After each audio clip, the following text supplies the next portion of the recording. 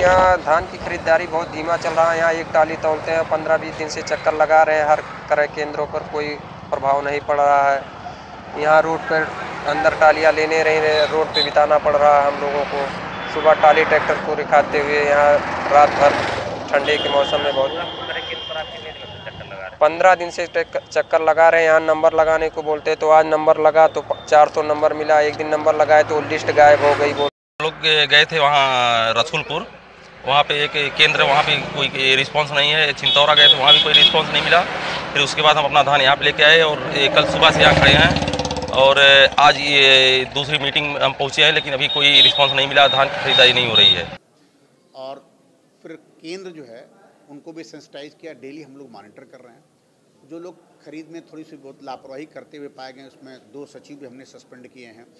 एक सचिव के विरुद्ध अभी आज एफआईआर भी दर्ज हो रही है। और दो मार्टिंग इंस्पेक्टर के विरुद्ध एडवर्स एंट्री भी दी गई है।